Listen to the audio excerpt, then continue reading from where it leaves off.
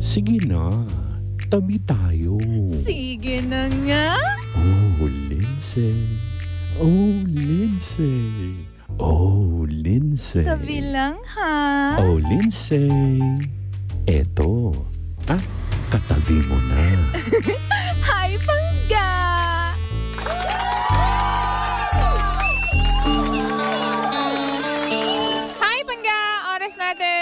Bengkabloan. Check your time. Tatlong minuto makalipas pa ang alas dos ng hapon. That's 2.03 on the clock. Siyempre naman, mahal ko tayo pa rin po ang number 106.7 Energy FM. Pangga, wag mo sabihin radyo. Sabihin mo!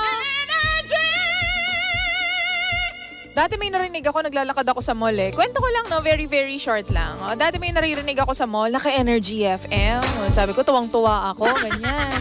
Kaso maya-maya sabi di, wag mo sabihin radyo. Sabihin mo, energy. Ganon sabi. Oo, doon sa liner namin, di ba? Yung bata.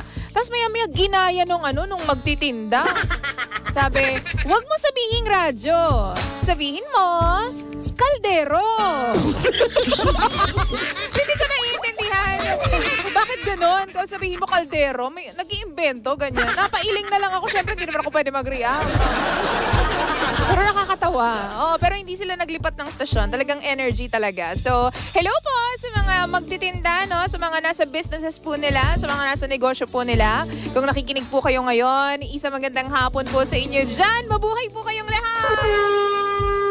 Grabe sa mga panahon na to, no, natutulog yung mga tao. Pero para silang ano, para silang hinihele ni Satanas. So, bakit ka ano? Sobrang init ngayon eh. Oo, grabe ang init. Talagang ano, mapapapaypay ka ng may halong ano, dalawang electric fan. Oo, no. Ibang klase po ang init ngayon. Kaya po hindi rin natin, ma, hindi rin tayo magtataka kung bakit. Alam mo yun, parang yung mga manok eh nangangamatay sa mga probi-probinsya, di ba? Tapos yung mga baboy bigla na lang namamatay. Oo, yun sa balita kahapon. Kaya nako, lagi po dapat hydrated yung inyong mga pets. Mga pets! yung mga, oo oh nga. Oh, bukod sa mga pets nyo, kung meron kayong pet na manok, bakit? Oh, meron kayong mga pet na baboy, bakit hindi? Ay, ano ka? Hi, Sir Cliff. Yung iba kaya, di ba no, Sir Cliff, yung iba ginagawang pet yung mga baboy, di ba? Oo, totoo. Eh, si Aiza Sigera, alam ko noon, meron siyang pet na pigi-pigi. Wow! Hindi ako nagbibiro. Oo, meron talaga. So, kanya-kanyang trip yan. Sabi ni Karen, so ingat-ingat po tayo inom lagi ng water. Oo. At saka, make sure na, well, mahirap man or imposible man nowadays na keep yourself na ano ba, yung nasa normal temperature dahil sobrang init nga dito sa Maynila, 'di ba? Eh gawin niyo pa rin po no, normal temperature po dapat, yung katawan niyo po dapat. Alam mo 'yon, kung posible na mag-aircon kayo, wag na kayo magtipid, mag-aircon na kayo. Seryoso. Yung pera kikitain niyo yan pero baka mamaya ma-heat stroke kayo kakatipid po ninyo, 'di ba?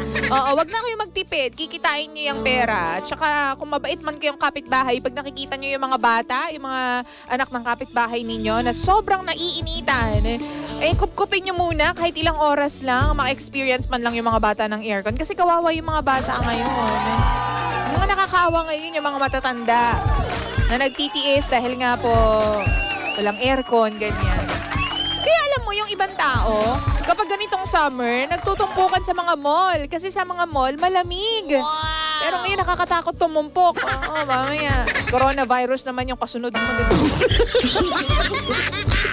O, sabi ni Evelyn, it's better to have water inside your bag than nothing at all. Totoo naman, di ba? In English pa tayo, tubig lang naman. oh, hello naman kay uh, Noel Zavillegas, listening and watching from Angon, Rizal. Ang mga mananahi ng Mura Shop Clothing. Hello po sa inyong lahat. Baka naman pwede ma-experience yung ano dyan, ha, yung mga damit nyo dyan. Nandito po kami sa E-Square. Baka po, baka lang trip ninyo magpadala, tipatry sa akin yung mga damit dyan, no? Kalang naman. Kapal ng mukha ako, grabe. Hello po sa inyong lahat. Si Carmela Coronel, Luth Likudan, lagi nakikinig po sa atin. Si Beski Braulio, hello Pangga. At ah, sino pa yung mga nandito? Si uh, Ailerol Tria. Tagatak ang pawis ko kanina. Nagsundo ako ng alaga ko. Totoo, sobrang nakakapawis po mga pangyayari. Oo. At saka sabi ni Akira Jen Alvarez, yes, sobrang init dito sa kwarto ko. DJ Lindsay, dalawa na electric fan ko. Okay lang naman. At least kanina pa umaga bukas. Ang radyo ko at nakatutok ako hanggang ngayon sa Energy FM. Ah, maraming salamat po. Thank you, thank you so much. Habang naiinitan ka, wag ka magalala. Nandito din naman ako, Panggano. Paiinitan ko lalo yung ulo mo. Ayun kasi yung story natin ngayon, medyo nakakainit ng ulo, no? Pero halika na nga, sige na nga, magkwentuhan na po tayo at magdramahan na po tayo. Ah, wala lang, gusto ko lang makipag-touch base sa mga tao po na present ngayon kasi naiinip daw sila. At ah, buti na lang daw, nandito daw ako. Ah, maraming salamat po sa inyo. Di ba? Yon. Kaya nandito ako, nakatutok ako sa ating live kasi nakikipag-interact ako sa mga tao na nandyan po sa ating Facebook Live ngayon. O, baka naman gusto mo ako makita live na live. Punta ka sa Facebook, facebook.com slash energyfm1067 at live na live po tayo dyan. Sabi ni Annabel Apolinar, Hello po, watching from Camiguin. Umulan po sa amin kanina. Talaga ba? Sana sa lahat, umulan no ng konti. Pero alam mo, pag ganito kainit, no, sobrang sagad yung init. Minsan, no, ang kasunod niyan talaga ulan. Kasi nga, evaporation, you know. Alam nyo, wala akong natutunan ng ano ah, sa science ng elementary. O, di ba? Uh, pa-shoutout naman po DJ Lindsay dito sa Santa Ana, Tagig. JV Malbas. Hello po sa inyo dyan. Halika na po, tayo po ay magkwentuhan na mahal ko at uh, magdramahan na po tayo. Kung meron kayong story na gustong isend dito po sa ating uh, estasyon, sa ating programa, pwedeng pwede naman yan. Uh, mag-email ka lang sa lihim ng liham 1067 at yahoo.com. Again, mahal ko, lihim ng liham 1067 at yahoo.com. Lihim. And uh, sabi ni Liberty Alano, good PM Lindsay, pabati naman from San Miguel, Bulacan. Magandang hapon po, Grandin. Jomilin Trangia, DJ Lindsay lang malakas. Grabe naman kayo. Yung masyado, wala namang ganyan. Yung masyado yung naman. Halika na, halika na. Magkwentuhan na po tayo. Ang daldal nyo, grabe, oh. Iba ka. Halika na mahal ko at tayo po ay maglihim ng liham na. Sit back, relax, and enjoy the story. Once again, ako pa rin po ang nag-iisang girlfriend mo sa radio. My name is Lindsay. Lindsay, Lindsay, Lindsay. Mwah! At tayo pa rin po ang number 106.7 Energy FM. Panggawag mo sabihin radyo. Sabihin mo. Tutok lang. Lihim, lihim ng liham ng liham. paghanga, pagkayamot, at pagkasabik. Damdamin hindi masambit, sulyap na may pag-ibig at walang buwang sa bibig. Iluluha na lang ba o sa liham ilalakip? Here we are, face to Lihim, lihim ng liham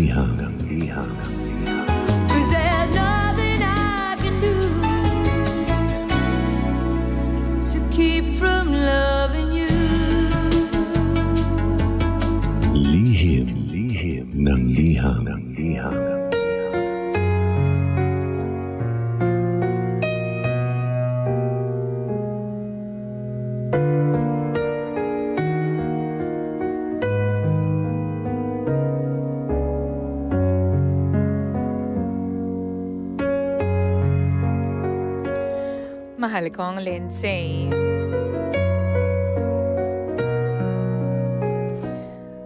Madalas po akong makinig sa programa niyo.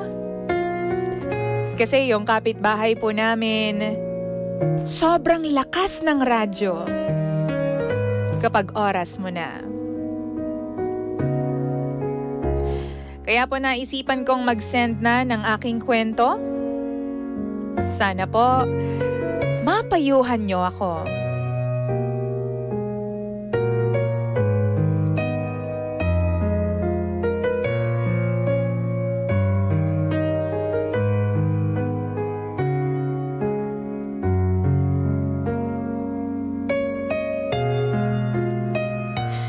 Lindsay, simulan po natin sa ganitong anggulo.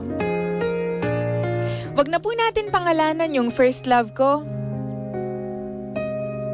Pero Lindsay, si first love, hindi talaga kami nagpapansinan yan. Ako, hindi ko siya pinapansin kasi nahihiya ako sa kanya. Saka, sadyang aloof lang siguro talaga ako. Kaya naman karamihan sa mga kakilala ko, hindi rin nakikipagpansinan sa akin. Pero Lindsay, alam mo, totoong close ako sa pamilya ni First Love. Kasi best friend ko yung kapatid niyang babae. Nitong April lang, nagpunta kami sa isang beach para magbakasyon. Iilan lang kami nun. Alam mo, kitang-kita ko na masaya siya. Kasi, minsan na lang talaga makalabas eh. Tapos ako naman, sobrang saya ko rin kasi in love talaga ako pagdating sa nature.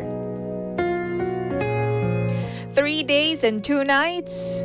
Staycation yon Sa beachfront.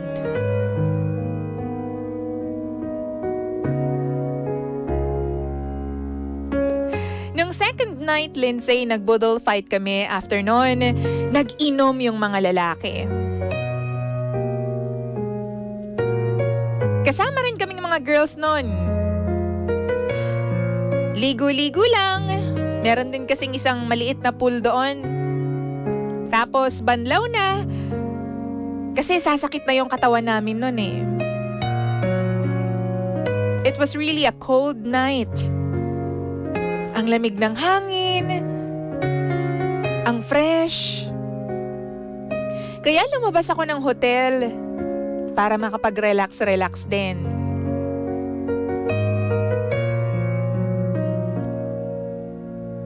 Maya-maya pa, naupo ako sa tabing dagat. I was alone. Pinag-iisipan ko yung mga plano ko sa buhay. Kumbaga parang nagre-recharge din kasi pagbalik ko sa bahay, mas stress na naman ako sa trabaho. Nung una naman, Lindsay, mag-isa lang ako eh. Pero maya-maya pa, dumating si first love ko. Pumunta siya sa harap ko. Tapos, nagsiselfone kami pareho. May times na napapasulyap siya sa akin. Tapos syempre, ako rin naman. Hindi na ako magsisinungaling. Tumitingin din talaga ako sa kanya. Tinitingnan ko kung mapapansin niya ba ako. I was actually wondering kung bakit dun siya nakaupo. Ang dami-daming pwesto eh. Ang lawak-lawak nung tabing dagat. Pero dead mo na lang ako. Kasi syempre, ayoko namang mag-feeling, di ba?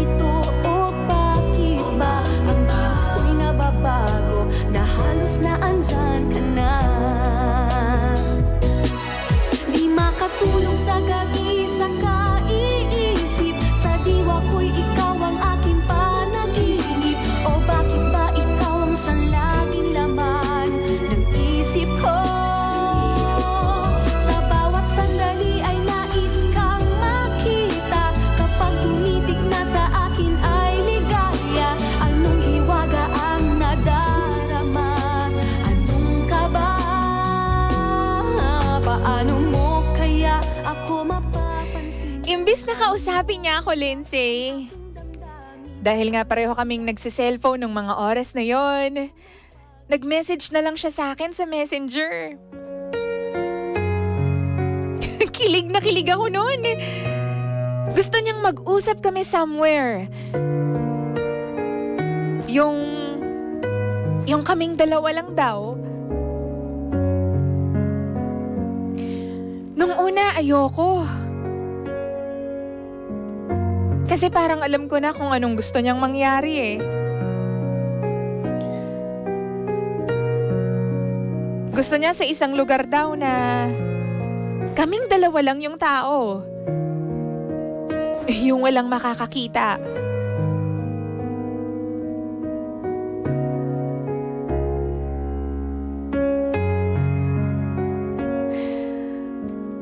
Lindsay, nung una ayoko talagang sumama sa kanya. But what can I do? Gustong gusto ko si First Love eh. Kaya hindi nagtagal. Pumayag din ako. Thinking na baka naman gusto niya lang talaga akong makausap. Baka naman makikipagkwentuhan lang. Kaya maya-maya pa, sumama na rin ako sa kanya. Hindi pa rin talaga siya nagbabago. Siya pa rin talaga yung suplado, nagwapo. Sumama ako sa kanya. Nag-usap kami dun sa poolside. Walang tao dun eh. Yun na nga, nagkwentuhan lang kami about buhay-buhay. Kung kamusta siya, kamusta yung trabaho niya. Ang sabi ko yung akin, medyo toxic.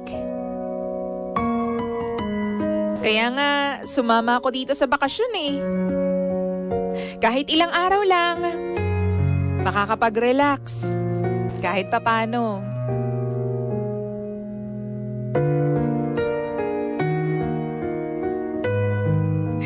Hanggang sa wala na kaming mapag-usapan, Lindsay.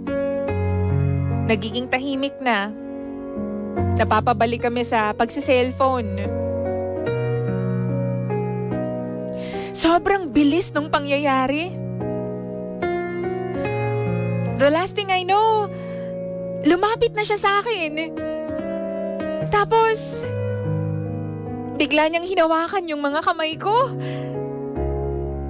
Tapos hinalikan niya ako, Lindsay.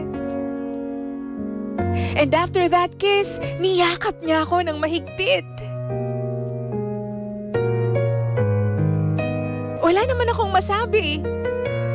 Ni hindi ako pumalag. Siyempre, gusto ko rin naman talaga siya. Pinabayaan ko siyang halikan ako, Lindsay. At yakapin ako. Wala na siyang sinabi after nun.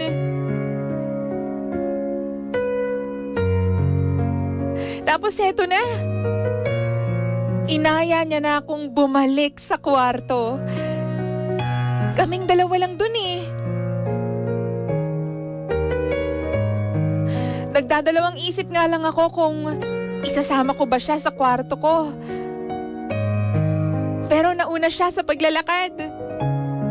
Sumunod lang ako.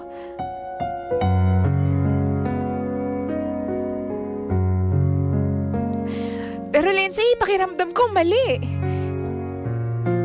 Sumunod ako sa kanya pero tumigil ako sa tapat ng shower room. Kasi ang sabi niya sa akin, Tara dito. Saglit lang.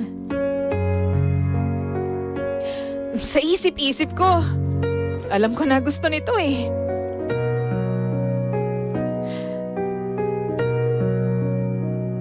Pero deep inside me, Lindsay, ayoko pa rin pumayag. Kasi alam mo, virgin ako eh. Kaya ayokong pumasok.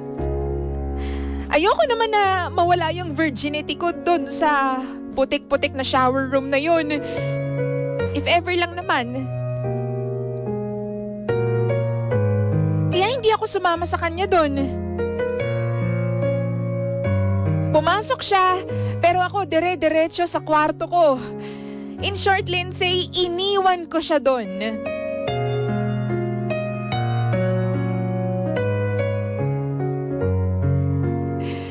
Tapos after nun, hindi na ako nag-message sa kanya. Tinatanong niya kung nasa na daw ako pero hindi ako nag-reply. Tinatawagan niya pa rin ako nung gabing yun. Mga tatlong beses yata siya nag-miss call sa akin. Pero hindi ko na sinagot. Dahil nga sa nangyari na yon, umasa ako, Lindsay, na meron ng something sa amin. Umasa ako na ipapursue niya ako. Naliligawan niya ako. Siyempre, nag-assume ako agad kasi first love ko nga yun eh. Hinihintay niya ako, naligawan niya ako. Hinihintay kong mag-first move siya sa akin. Kaso Lindsay, wala eh. Mali pala lahat ng akala ko.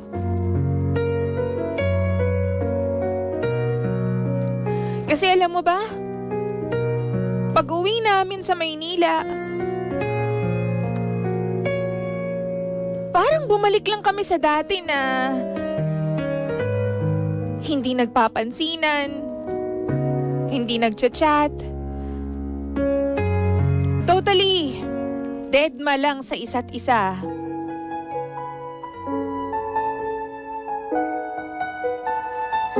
Ibang-iba kasi.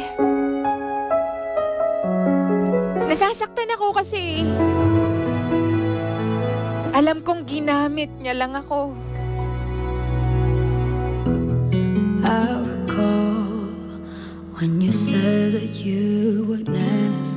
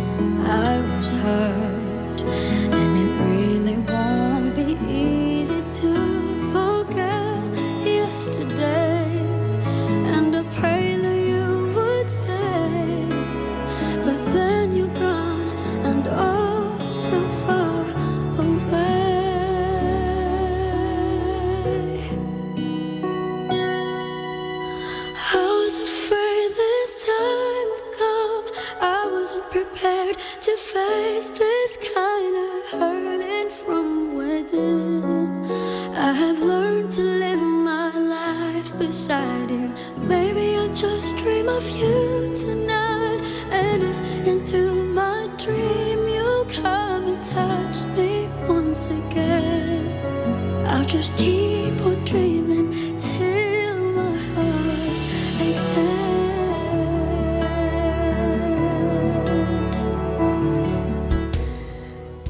Lindsay, alam ko naman na sa kung anong meron kami, ako lang yung nag-invest ng feelings. Ako lang yung naghintay. Eh, ang sabi ko nga kasi, di ba? First love ko eh. Kaya umasa ako. Pero mali lang talaga. Mali lang talaga siguro na umasa ako. Sabi nga nila, di ba? Expectations lead to disappointments.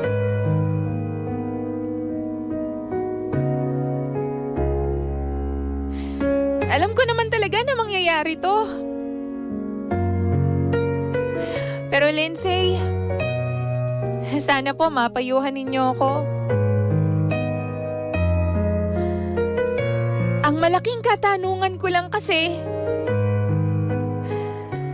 talaga bang pwede mong halikan ng isang tao kahit wala ka namang totoong nararamdaman para sa kanya?